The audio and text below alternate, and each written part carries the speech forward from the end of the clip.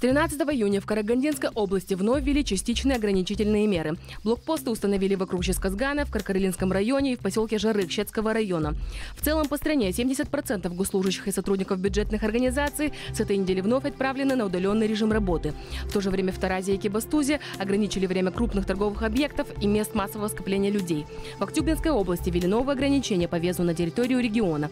Все эти меры были приняты из-за осложнившейся эпидситуации как в стране, так и за ее пределами. На две недели продлили карантин и на нефтегазовом месторождении Тенгиз. Мы продлили ограничительные меры на 14 дней. Сотрудникам потребуется соблюдать все необходимые меры и держать социальную дистанцию.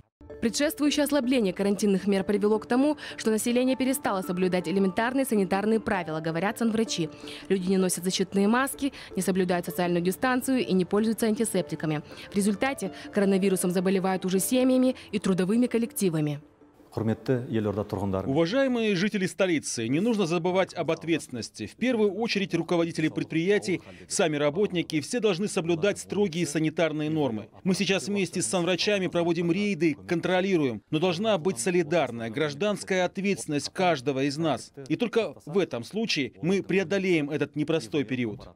В ответ на халатное отношение к своему и общественному здоровью со стороны отдельных граждан в столице могут снова ввести жесткий карантин. Многие люди, игнорируя правила безопасности, не соблюдая защитных мер, посещают парки, торговые центры и места общепита.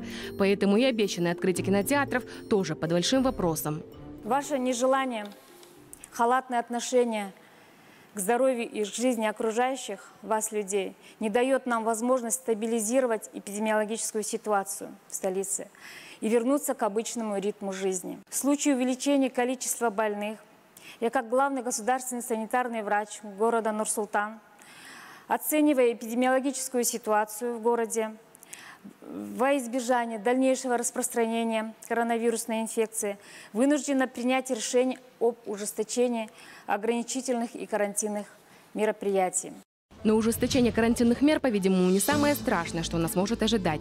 Увеличивается количество бессимптомных больных коронавирусом. Только в минувший четверг в стране было зарегистрировано 630 зараженных, но не имеющих никаких клинических симптомов граждан. Они опасны тем, что сами того не зная, могут инфицировать окружающих.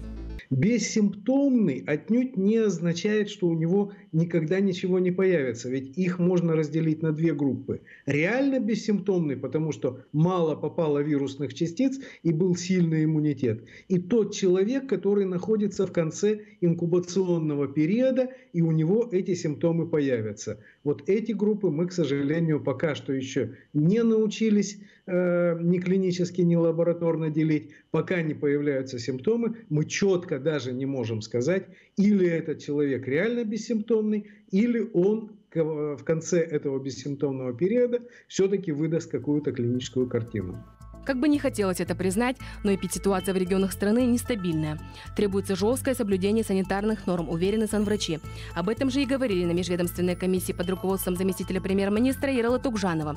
Он поручил воздействовать на тех владельцев бизнеса, которые пренебрегают санитарными правилами. И это не без основания. Только в Восточно-Казахстанской области за минувший месяц было выявлено около 700 нарушений карантинного режима.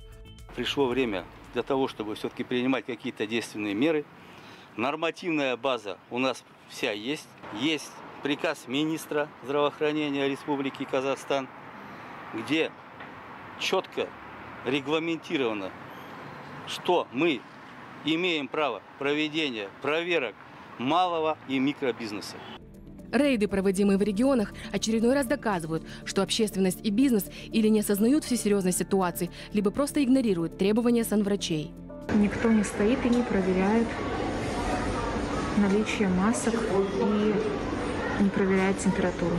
Одной из причин роста заболеваемости является и то, что люди стали делать больше тестов по собственному желанию. К имеющимся клинико-диагностическим лабораториям добавились еще и мобильные пункты по забору анализов на COVID-19.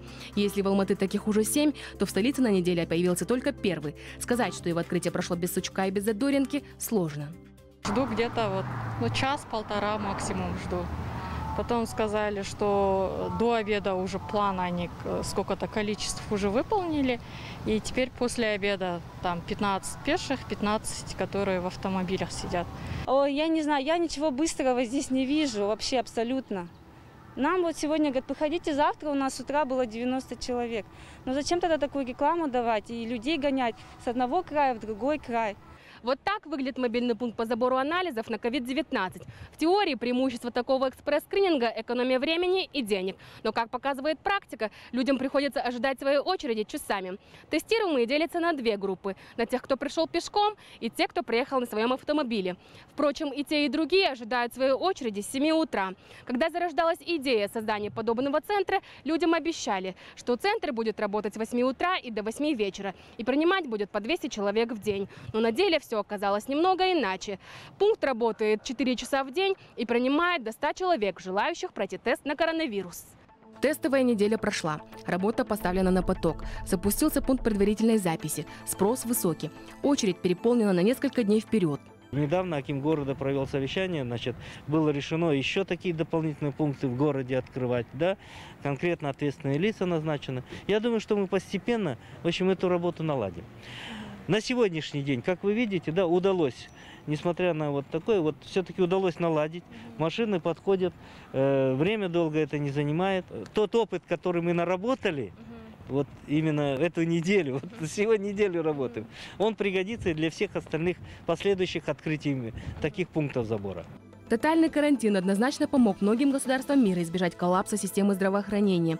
Но стоило лишь немного ослабить режим контроля, как коронавирус вновь поднял голову. Понятно, что ограничительных мер только со стороны государства недостаточно. Сознательность должны проявлять и все граждане. Ведь здоровье общества зависит от действия каждого отдельного человека и понимания того, что мы несем ответственность не только за свое здоровье, но и за здоровье наших близких и окружающих. Кунция Курмет, Диаску Бламбаев, Жетукун.